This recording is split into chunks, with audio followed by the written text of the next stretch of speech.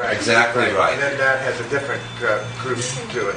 Exactly right. That's why it is Right. number two, right? Right. Exactly. That's why it has Right. that number. It's- That's why It's you essentially look the the way you basis for do. dimensionality of sources. It's like, yeah, yeah, yeah. I like that. When Charlie clicks on something, it's because he, he's dimensionalized it. I mean, it's like.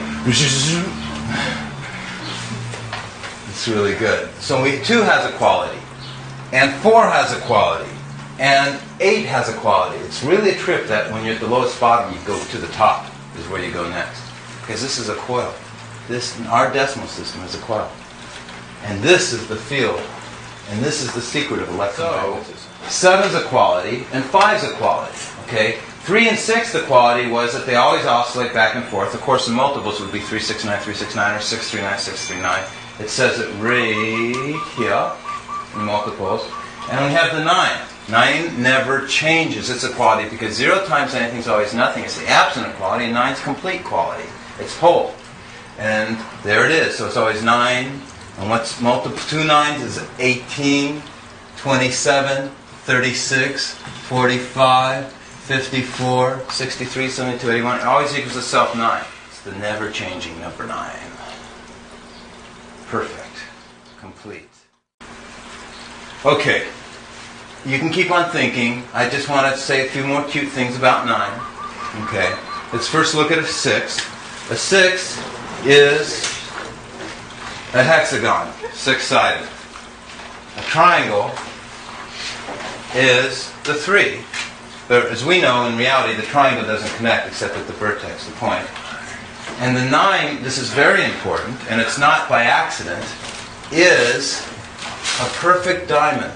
See how this makes a diamond? Should have been a bit, little bit better with it more perfect. But it, it- Charlie has a question, but before Charlie does it, I want to finish just one point all over again. Okay?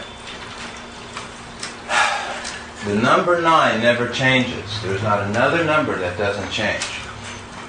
Okay? Only number 9 can do that. 0 is nothing. 0 times anything is nothing. And by the way, 0 is not a member of a multiplication series. That's why after 9 is not a 0. The 0 is the vortex. And this is making a vortex. So multiples of 2, there's not another thing that does it like it. You can't. And, it, and if you had a multiples, if you had a base 12, you would still be using um, the 1 and the 2 and 3 again, because it's after 9. And so you would be duplicating, at least as a phantom, as a mirror, uh, the 8, 7, and 6. In other words, you would be actually doing a mirror imaging, like in Kirlian photography, of um, the leaves, right there. Okay, you know familiar? Um, so numbers themselves by the very existence of a one, it creates an, a phantom of the eight. So there is not endless as to the points we were reading, such as that how many base systems are there? Okay. We say it says mm, somewhere um, it says how many counting base systems are there? There's only one pretty hard, hardcore medicine to swallow. There's only one base counting system. Charlie? Um, I'm unclear as to how you're defining, e- each of those uh, numbers on, um, on the corners there, it represents a, a group, a family of numbers, right?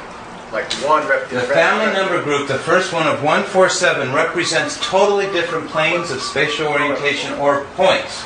This one's at the top. You'll never have two family number groups occupying both tops. Only one.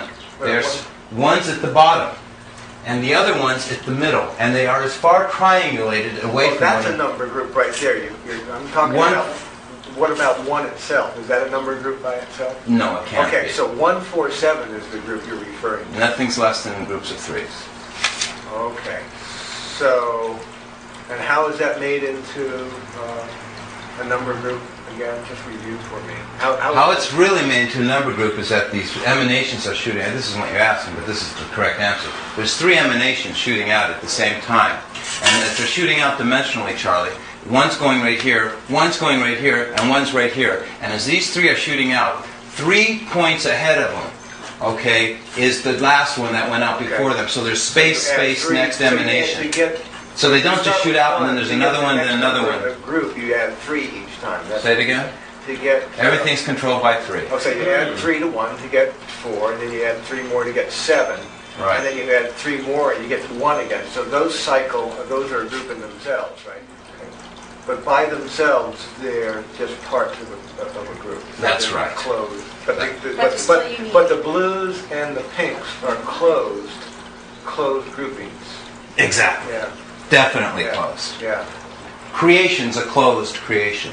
That's why it's called a bounded infinity. It's an And- and- infinity of duration, not direction. The duration is the spin continuum. It's a never it's infinity of motions, but it is not infinitely going out into space because it's warping and being curved by the intersections of these emanations. It causes it to warp. It's like a little kicker, and it causes it to spin. And as they spin, ever hit a leaf on the lawn, kicks up in the air and comes closer to you than where it began from instead of going away where you wanted it to? Okay, that's what these things are doing. They're being warped. Okay?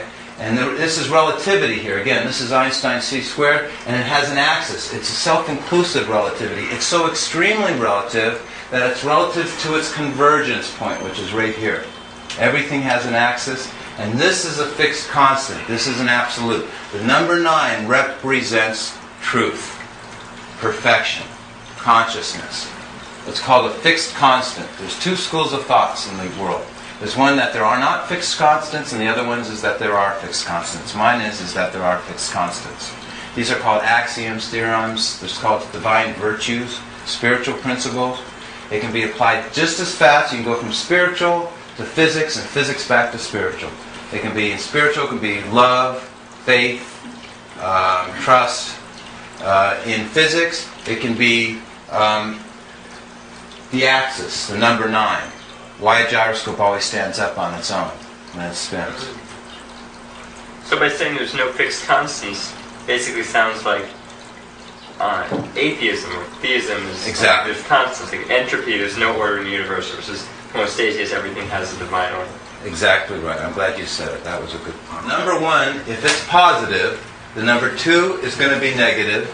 Number four is going to be positive. The number eight is going to be negative. The number seven's going to be positive. The number five is going to be negative, excuse me. And the number one's positive. So it's going back and forth, back and forth. Positive, negative. There's your binary flip-flop. Positive, negative, positive, negative. Okay?